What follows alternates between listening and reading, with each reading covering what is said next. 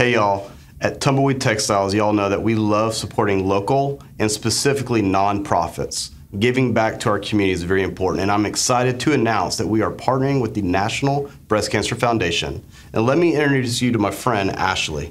Thank you so much, Brian. You know, NBCF is over the moon to be partnering with Tumbleweed Texstyles again this year to launch our Hope Collection. As a reminder, National Breast Cancer Foundation is headquartered right here in Frisco, Texas, and our mission is helping women now. I encourage you, when you purchase the items in the Hope Collection this year, to wear them with pride.